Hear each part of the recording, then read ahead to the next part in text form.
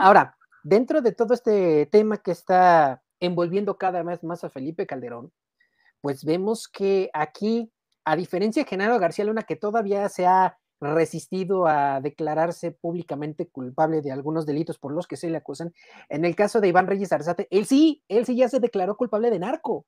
¿Ya? Así abiertamente. Sí. Abiertamente. Entonces, llama la atención también que también este señor Reyes Arzate está en la misma corte donde fue juzgado el Chapo, donde está siendo juzgado García Lunes, eh, Luna, la corte del juez Brian Cogan en el estado de, Nueva York. Entonces, ahí vemos cómo, por dónde va la línea. Pues ahí está todo el expediente. Yo, me, yo pienso que en el mediano plazo, Felipe Calderón por lo menos va a ser llamado a declarar mínimo, mínimo. Ojalá que sí, ya se está cerrando este cerco. La verdad es que, bueno, miren, ya, yo no me espero ya me, más bien ya me espero todo de este expresidente, de este sujeto, Felipe Calderón, porque nada más falta que salga a decir, lo niego calderónicamente, como es su costumbre. Yo no conocía a Reyes Arzate. Ah, Reyes Arzate, ¿quién era, no? casi, Así casi. Como que... Sí, casi, casi. Y este, y, Felipe Calderón queda mal por donde, por donde lo quiera abordar. Sí. Si sí sabía, pues porque sí sabía y lo permitió. Sí. Pero si realmente, vamos a pensar si conceder que no sabía vamos a pensar que no sabía, pues entonces, ¿qué tipo de titular del Ejecutivo Federal tuvimos que no sabía lo que pasaba debajo de sus propias narices? o sea, por, donde lo, por donde lo quieres abordar, es grave. Si sabía porque lo permitió, y si no sabía porque no tenía ni idea de a quién, este, de a quién metió al, al círculo rojo. De verdad que es muy, es muy preocupante, y esta es una de las razones, aquí se empieza a, eh, a sostener la tesis del presidente López Obrador, que siempre ha dicho que los problemas de la violencia pues se vienen arrastrando de sexenios anteriores. Siempre se, siempre se dijo, incluso, incluso yo recuerdo aquí lo, lo, he comentado en México a las dos, lo he dicho en, en sin línea también.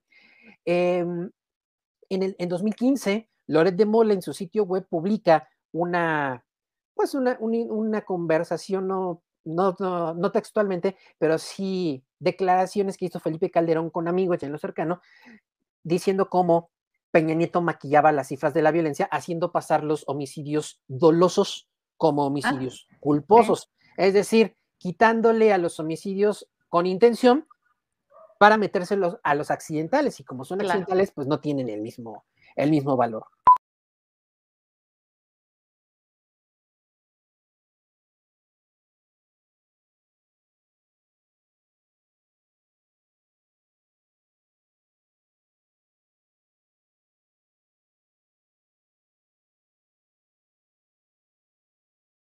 Tramposos, mafiosos. ¿Qué hizo el presidente López Obrador? Llegó a quitarle el maquillaje a las cifras. Así. ¿Cómo van? ¿Cómo son? Porque, porque desde el punto de vista de la psicología, el primer paso para resolver un problema es admitir que lo tienes. Claro. Y además, hoy vemos también en esta, en esta conferencia matutina en Palacio Nacional que hablaron sobre el tema de seguridad como se hace cada mes. Sí. Y a diferencia de administraciones anteriores, tú te acordarás aunque no se hacían conferencias de prensa como las que se hacen hoy eh, todos los días en la mañana, de lunes a viernes, que siempre en las administraciones de Peña, de Calderón, de Fox, del que quieras, siempre todo era, todos eran logros, todos, e, todos eran éxitos. Y agarramos tal, hicimos esto y lo otro. ¿No te acuerdas cuando agarraron la segunda vez al Chapo Guzmán, que estaban en conferencia de prensa encabezando la, estaban Osorio Chong, estaba el titular de la Defensa Nacional, el general Cienfuegos, estaba el titular de Marina, el general este, Soberón Sanz, y estaba el, la titular de la entonces Procuraduría General de la República, Areli Gómez, hermana de Leopoldo Gómez, vicepresidente de Noticieros. De Televisa. Así es. Yo recuerdo Osorio Chong, les voy a comunicar un mensaje del señor presidente, y saca el celular.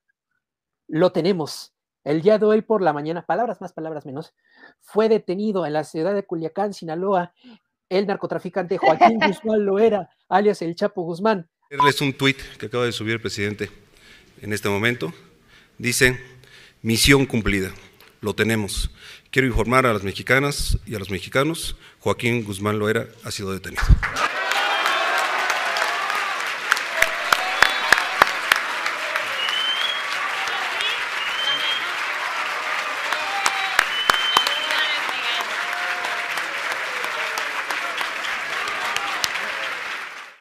Lo tenemos seguro. Y aplausos y felicitaciones, se voltearon y se abrazaron. Hazte de cuenta que acabaron con el narcotráfico en México. ¿Sí? Todo, todo eran logros, éxitos. O sea, poco faltaba para que hicieran eh, fiesta loca